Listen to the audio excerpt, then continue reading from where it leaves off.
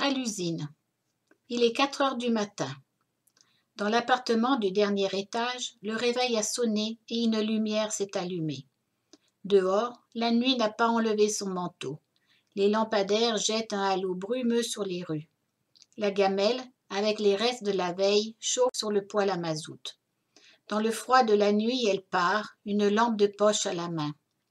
Des ouvriers arrivent à vélo, d'autres à pied. Les chefs viendront un peu plus tard en automobile. La barrière de l'usine se lève à cinq heures. La sirène hurle. Les cartes de pointage attendent sur le mur de l'entrée. Un retard de cinq minutes est sanctionné par une perte de salaire d'un quart d'heure. La foule des ouvrières s'engouffre dans les ateliers. Les yeux encore lourds de sommeil, personne ne parle. Chacune d'elles se place derrière sa chaîne de travail. Les machines puissantes ouvrent la journée dans un vacarme assourdissant.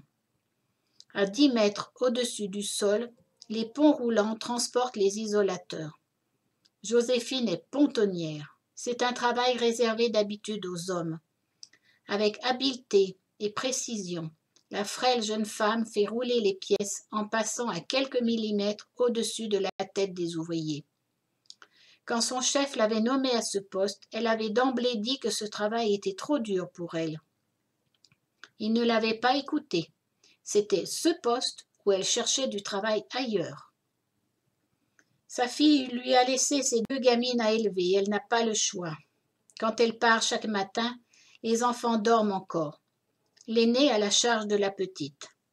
Le samedi, ou si l'école est fermée pour les vacances, Joséphine met une chaîne à la porte d'entrée pour enlever, surtout à l'aîné, toute envie de courir dans les rues.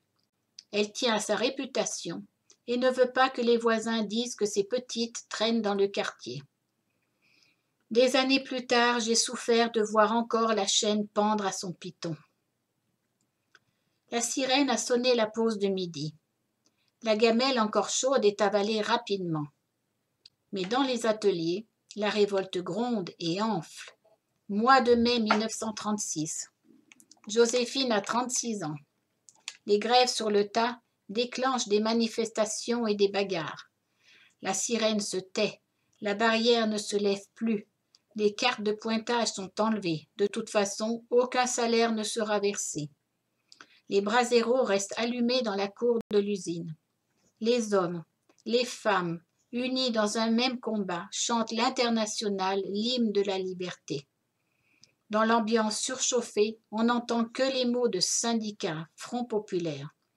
Enfin, au bout de plusieurs mois de lutte et dans la liesse générale, le gouvernement accorde aux ouvriers la réduction du temps de travail, les hausses de salaire et les congés payés. Alors, si aujourd'hui je peux faire des projets de vacances, c'est grâce à Joséphine et à ses compagnons d'usine. C'était la nouvelle à l'usine.